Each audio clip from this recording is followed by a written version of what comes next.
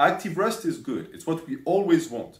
Time spent actively resting is never a waste. It cannot be defined as a waste. Just like resting from an exercise in the gym or throughout the week as you recover from the damage is not a waste. And there's an asshole outside rubbing his fucking engine because he has a small dick, I guess.